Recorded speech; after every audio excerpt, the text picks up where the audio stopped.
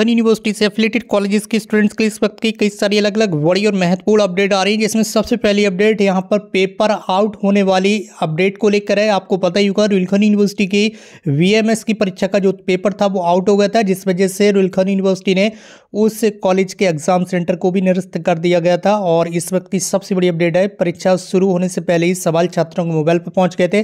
गजरौला के degree college से paper leak के आरोप हैं, केंद्र को निरस्त कर दिया गया और बीएमएस की तृतीय वर्ष के प्रोफेशनल कोर्स के छात्रों की आयोजित की जा रही थी ये परीक्षा। इसके साथ ही पूरी अपडेट आज की इस वीडियो में आपको मिलेगी। इसके साथ ही जो स्टूडेंट्स प्राइवेट फॉर्म भरना चाहते हैं तो प्राइवेट फॉर्म भरना स्टार्ट हो चुके हैं। आप लोग अपना फॉर्म फिल कर दीजिए। इस जनवरी के पूरे महीने में फॉर्म फिल किए जाएँगे और फरवरी के भी पूरे महीने में फॉर्म फिल किए जाएँगे। अगर आप किसी भी कोर्स का बीए या बी कॉम या एम का प्राइवेट परीक्षा फॉर्म भरना चाहते हैं तो प्राइवेट परीक्षा फॉर्म भर दीजिए। अगर आप रेगुलर एग्ज़ाम फॉर्म भरना चाहते हैं, जिसमें वार्षिक परीक्षा होती हैं, वो ईयरली एग्ज़ाम होते हैं तो उन कोर्सेज़ के भी एग्ज़ाम फॉर्म फिल किए जा रहे हैं। तो वो फॉर्म भी आप जल्द से जल्द फिल करके अपने संबंधित कॉलेज में ज़रूर जमा कर दें। इसके साथ ही तीसरे नंबर पर आते हैं आपके पीजी कोर्सेज के semester exam form PG courses में सेमेस्टर एग्ज़ाम फॉर्म जिसकी एमए एमएससी और एमकॉम के फ़र्स्ट और थर्ड सेमेस्टर के एग्ज़ाम फॉर्म।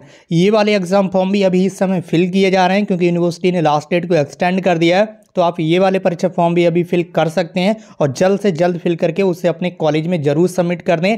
और इन स्टूडेंट्स की जो परीक्षा होंगी पीजी कोर्सेज में फ़र्स्ट और थर्ड सेमेस्टर की परीक्षाएँ ये आपकी फरवरी में ली जाएँगी। तो सभी स्टूडेंट्स जल्द से जल्द अपने परीक्षा फॉर्म, यानी कि एग्ज़ाम फॉर्म भरकर अपने कॉलेज में जमा करने की कोशिश करें, क्योंकि यूनिवर्सिटी ने कई बार डेट बढ़ा दी है और बाकी रेगुलर और प्राइवेट में वार्षिक परीक्षाएँ देने वाले स्टूडेंट्स के भी परीक्षा फॉर्म फिल किए जा रहे हैं। अगर आपको कोई समस्या है तो नीचे कमेंट बॉक्स में ज़रूर टाइप करें। इसके साथ ही आप हमारे व्हाट्सएप ग्रुप पर भी जुड़ सकते हैं। व्हाट्सएप ग्रुप की लिंक वीडियो के कमेंट बॉक्स में दे दी गई है।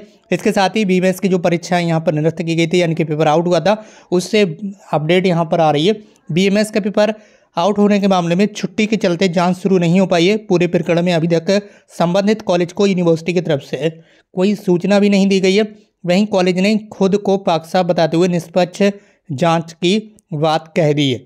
इसके साथ ही उस कॉलेज के प्राचार्य जी का क्या कहना है, वो यहाँ पर देख लीजिए। पूरे मामले में कॉलेज प्रशासन ने खुद को पाक साफ़ बताया। प्राचार्य डॉक्टर नम्रता वर्मा ने बताया कि हम नैक दौरे के चलते परीक्षा कराने को तैयार नहीं थे।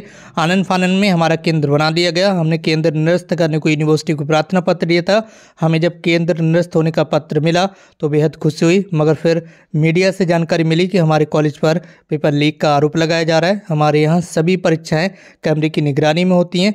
कॉलेज केवल अपने केंद्र के लिए उत्तरदायी है अन्य किसी क्षेत्र के लिए नहीं है। इसके साथ ही कॉलेज में परीक्षा प्रभारी डॉक्टर अजय कुमार जी ने कहा है कि यूनिवर्सिटी से हमें अभी तक इस बारे में कोई सूचना नहीं मिली है।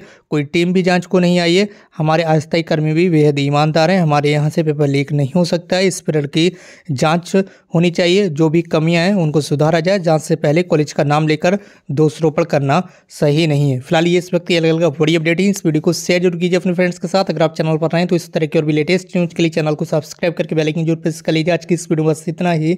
मिलते भी नई वीडियो में एक नई इन्फॉर्मेशन के साथ। Thank you so much